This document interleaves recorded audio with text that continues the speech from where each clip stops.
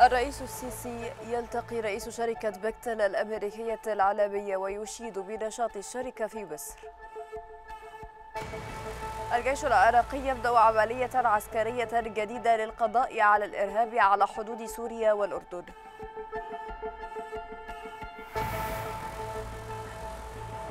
والسلطات الصينية تعلن ارتفاع عدد الوفيات بسبب فيروس كورونا إلى 1113 حالة.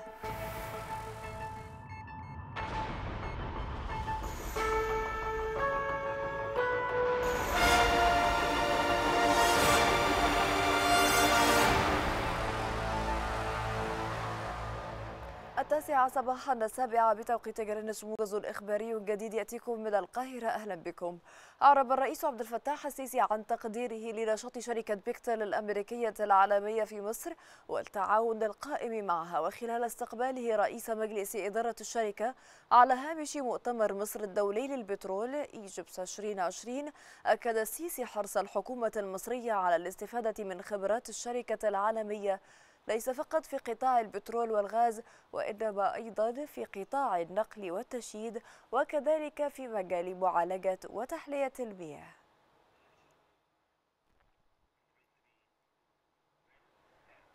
بحث وزير الخارجية سامح شكري مع مستشار الأمن القومي الأمريكي روبرت أوبراين العلاقات الثنائية بين البلدين وسبل تطويرها وذلك على هامش وجود وجوده بواشنطن للمشاركة في مفاوضات سد النهضة. وأكد الجانبان ضرورة تعزيز التنسيق بين البلدين حول القضايا الإقليمية وبشكل أخص الأزمة السورية والوضع في ليبيا.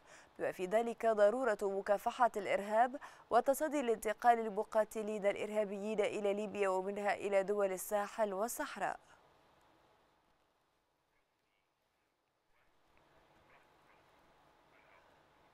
قالت بعثة الأمم المتحدة للدعم في ليبيا إن الأطراف الليبية المشاركة في اتباع المسار الاقتصادي لمؤتمر برلين بالقاهرة اتفقوا على آليات لجنة الخبراء الاقتصاديين وعلى أسس عملها. وقالت البعثة في بيان إن المشاركين قد أكدوا أن الانقسام المؤسسي والذي طال أبده في ليبيا والسياسات المتباينة أثر بشكل سلبي على الوضع الاقتصادي لا سيما القطاع المصرفي.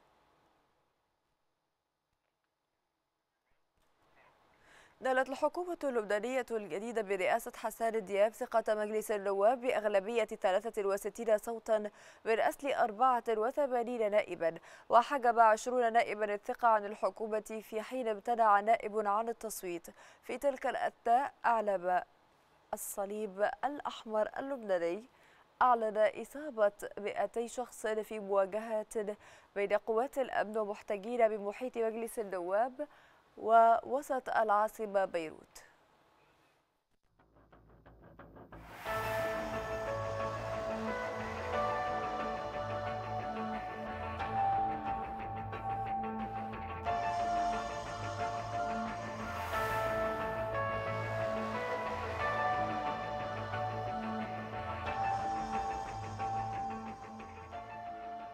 أعلن الجيش العراقي عن إطلاق عملية عسكرية جديدة تهدف إلى القضاء على بقايا الإرهاب وفرض الأمن خصوصا في محافظة الأبار والمناطق المحيطة بها على الحدود مع سوريا والأردن. وأفاد بيان صادر عن خلية الإعلام الأمني بالجيش العراقي أن العملية التي تحمل اسم أبطال العراق تأتي استكمالا للنجاحات التي حققتها عمليات إرادة النصر خلال مراحلها الثمانية. هذا ولم يذكر البيان أن قوات التحالف الدولي تشارك في هذه العملية الجديدة.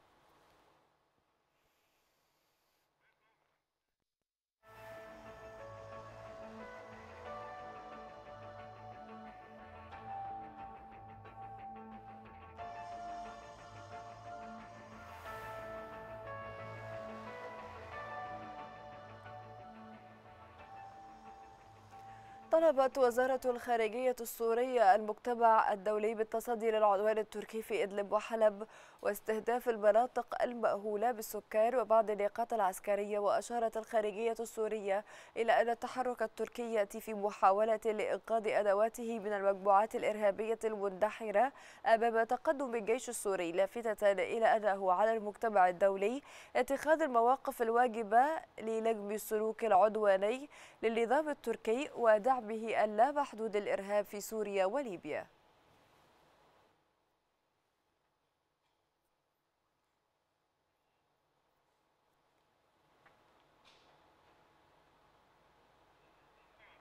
أعلن زعيم تيار الصدري في العراق مقتدى الصدر حل القبعات الزرق ودعا القوات الأمنية إلى فرض الأمن.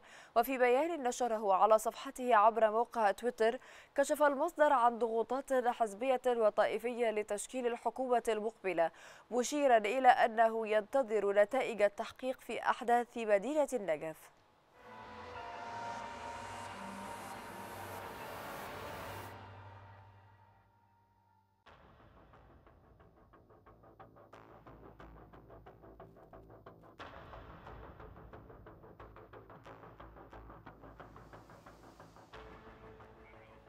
قال رئيس الوزراء الجزائري عبد العزيز دجراد إن الوضع الاقتصادي للجزائر يمر بمرحلة حرجة متعهدا بتجاوز الأزمة عبر إصلاحات سياسية واقتصادية واجتماعية.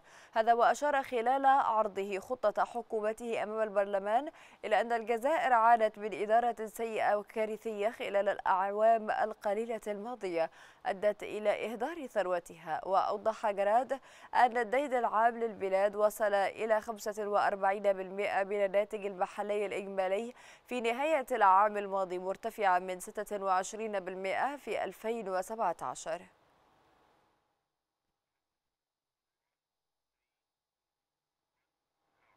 قال أنور جرجاش وزير دولة الإماراتين للشؤون الخارجية إنه لا يمكن أن تحقق إيران ما تريده عبر أنشطتها الاستفزازية. هذا وأكد جرجاش في لقاء للجمعية الإماراتية في لندن أن بلاده تؤيد دعوات التهدئة مع إيران وضرورة التوصل إلى حل سياسي مضيفا بأن التدخل في اليمن حال دون وقوعه في دائرة النفوذ الإيراني.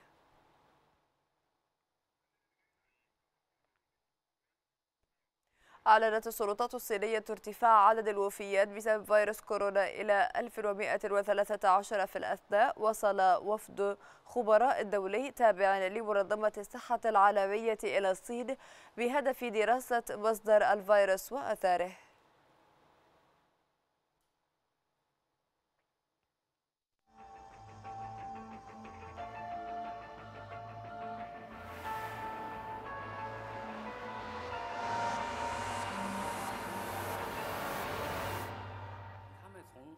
湖北回到各自的学校之后，也要按照我们刚才讲的，要进行单独的隔离。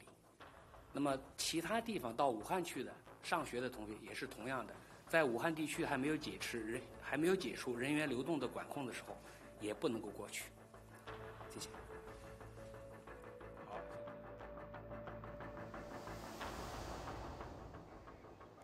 قال الرئيس الأفغاني أشرف غاني إن وزير الخارجية الأمريكي مايك بوبيو قد أبلغه بأن تقدما ملحوظا قد تحقق في المحادثات بين الولايات المتحدة والطالبان حول اتفاق لانسحاب القوات الأمريكية من أفغانستان. وأضاف غاني في تغريدة عبر موقع تويتر أن بوبيو أبلغه في اتصال هاتفي بأن طالبان تقدمت باقتراح يتعلق بتحقيق خفض كبير ومستمر في العنف.